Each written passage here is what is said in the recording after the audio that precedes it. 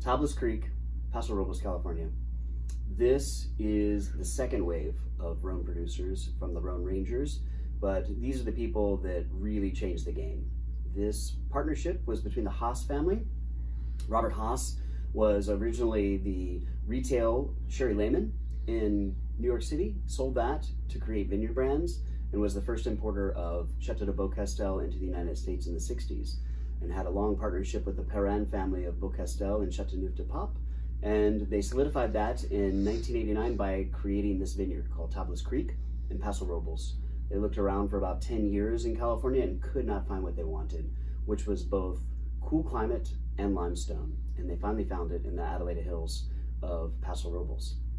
And on top of that, they took all the cuttings from Chateau de Beaucastel, put them through the quarantine in the USDA, and propagated them themselves in their own greenhouses.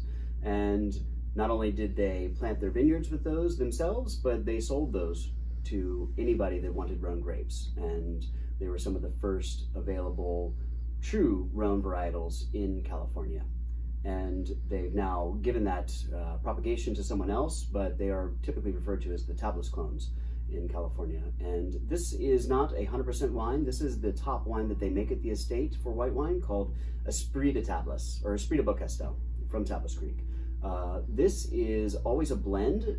They've tried to make 100% Roussanne, but they really love it with a little bit of added zest and acidity from Grenache Blanc and Picpoul.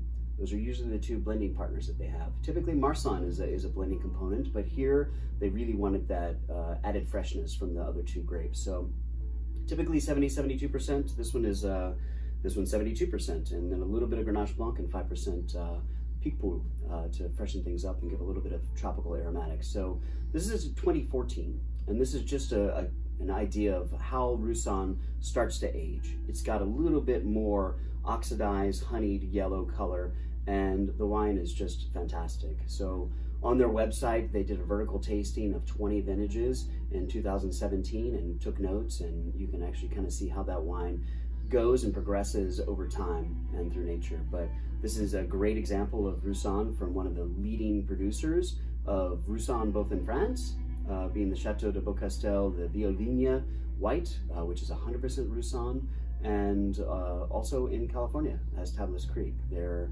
run now by Jason Haas, who is the son of Robert Haas. Uh, he does an amazing job and he farms everything organically and biodynamically since the beginning. And he's also a, a great writer and keeps a fantastic blog and uh, has really been instrumental in bringing Paso Robles to greater prominence in the wine world as well. So enjoy this library selection from Tablas Creek.